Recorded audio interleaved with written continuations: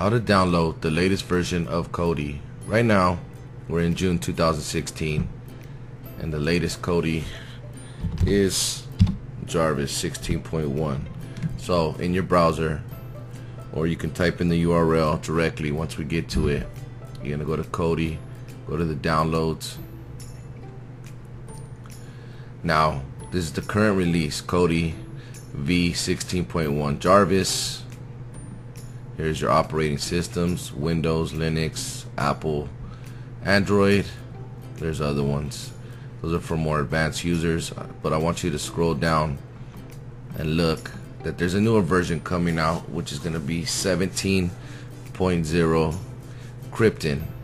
But now this is in the development stage. So, unless you know what you're doing, don't download this. Go ahead and download the current release, which is um, the most stable release that has no bugs at this moment. If you were to take and click the 17 version of Kodi, um, it's not fully developed.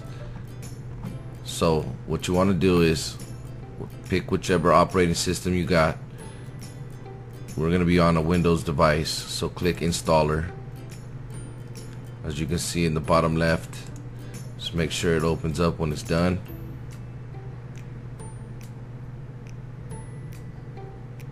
Takes about a minute to download.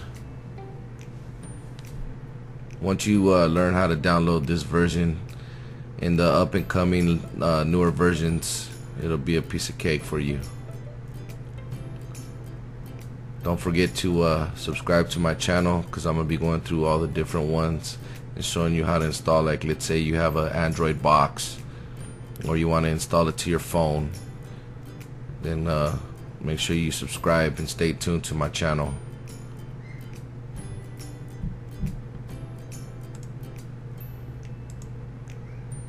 I don't know why it's saying two hours. There's no way. Okay.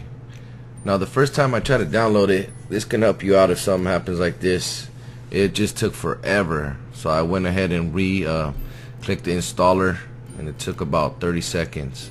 So once you get your uh, Kodi 16.1 downloaded go ahead and open it. Click run.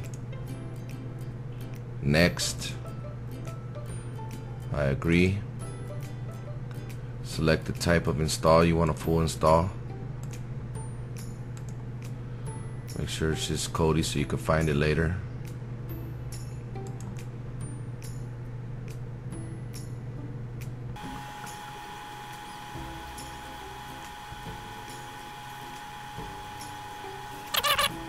I went ahead and uh, sped up the download process. It took about a minute 30 seconds. So go ahead and check run Kodi. Click finish.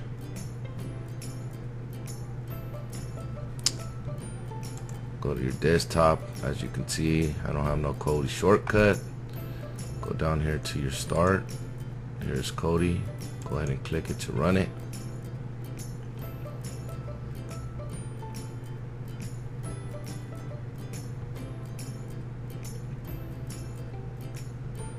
And there you go. You have a new version of uh, Kodi 16.1 Jarvis. In the next video I'm going to show you how to set up your Kodi so you can stream any movies, TV shows, or sports. So stay tuned.